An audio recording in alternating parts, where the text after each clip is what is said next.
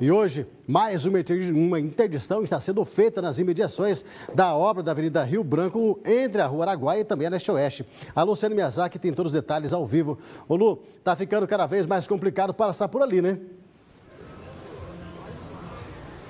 Com certeza, Cid, e principalmente para quem vem da Zona Norte em direção ao centro da cidade. Hoje, às 9 horas da manhã, foi interditado o último trecho antes de chegar ali na, na antiga rotatória com a leste-oeste. Ou seja, quem vem da Zona Norte da cidade agora tem que virar à direita na rua Caetano Otranto e aí vai passar perto ali da UPA Sol para conseguir acessar a leste-oeste ou então virar à esquerda na rua Araguaia e aí depois pegar a rua Cabo Verde para poder acessar a leste-oeste.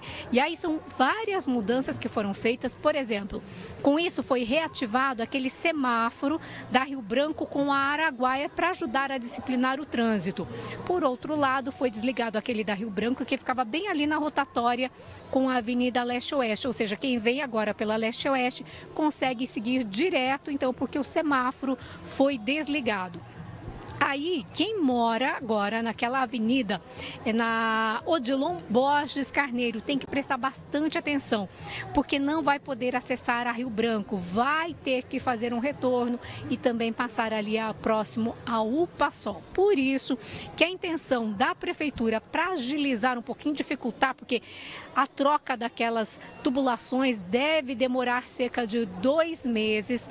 A expectativa é dividir em duas fases: acelerar essa primeira parte para poder concluir em até 20, 30 dias e liberar então o acesso por essa avenida que fica paralela a leste-oeste, a Odilon Borges Carvalho. Vamos ouvir então o que disse sobre este assunto o secretário de Obras, João Versosa. Nós estamos num momento importante da obra agora, que agora nós estamos trabalhando praticamente no espaço todo, né? Escavação nas duas frentes, no, no sentido aqui da leste-oeste, e também precisamos finalizar a rede de galerias que está subindo a Rio Branco, do centro aqui para o bairro, pro, do, do, do bairro para o centro, até chegar aqui no entroncamento da Rio Branco com a leste-oeste.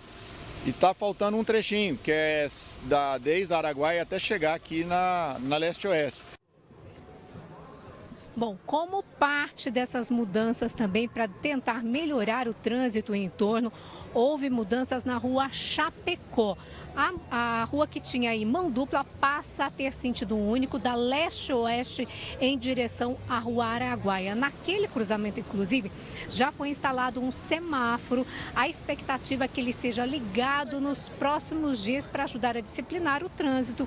Não, lembrando que ele fica na rua Chapecó com Araguaia. A gente mostrou ali que aquele outro cruzamento né, da Araguaia com Iapoque, bastante complicado lá. Houve apenas mudanças no estacionamento de veículos que foi transformado então para motos. Então, os motoristas que passam por aquele local tem que redobrar a atenção, Cid. Na verdade, quem vem da Zona Norte e pretende acessar a Avenida Leste-Oeste, centro da cidade, se possível, até fazer um desvio, porque vai ficar bastante complicado, principalmente no horário de rush. Imagina só, interditar todo aquele trecho a partir ali da, da Caetano Tranto, Araguaia, até a antiga rotatória da Leste-Oeste.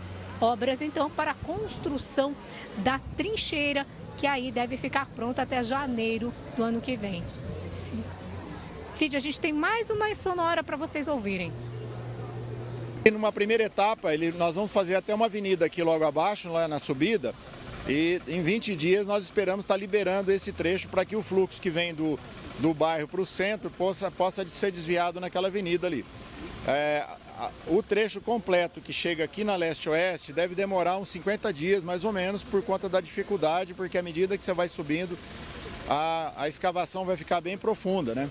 É, vai chegar aqui perto do, do, do, cruzamento aqui, 8, 9 metros de profundidade, então não é uma, uma execução simples que vai demandar um tempo e a estimativa nossa é em torno de 50 dias para terminar esse trecho. Então aí estaríamos interditando a subida da Rio Branco, chegando aqui na, na leste-oeste. Por conta então da colocação dessa tubulação das adutoras. Isso deve levar aí até 60 dias. Expectativa que no meio desse tempo, então o município consiga fazer a liberação ali daquela avenida de Lomborges de Carvalho. Lembrando que a trincheira ali da leste-oeste com a Rio Branco, expectativa que fique pronta até janeiro do ano que vem, obra de 32 milhões de reais.